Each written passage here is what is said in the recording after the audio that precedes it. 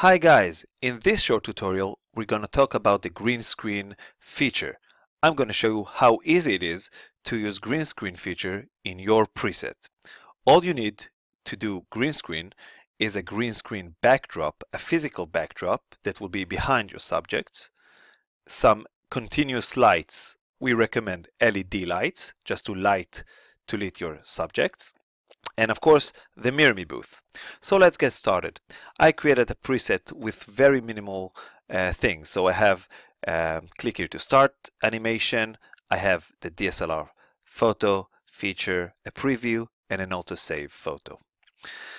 Um, let's have a look at the photo layout. Of course I have just the DSLR photo.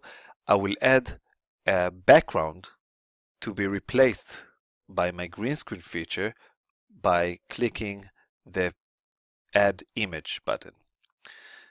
And for this tutorial we will use the spaceship cockpit. Okay, um, the ratio here is a little bit different so I'm just going to scale it a little bit.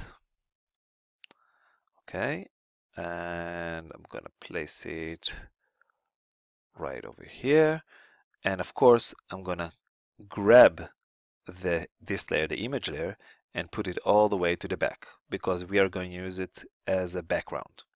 Okay? Now, the next thing I want to do is go to the Filters tab and check Apply Selected Filter on all photos. And here I will select the green screen filter and I won't touch for now the settings. Okay?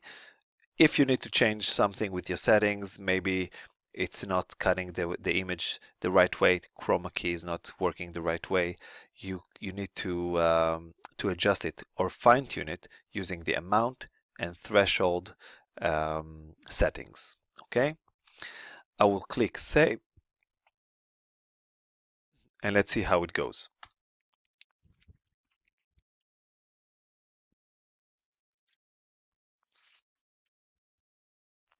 Great. Okay, so it worked out fine.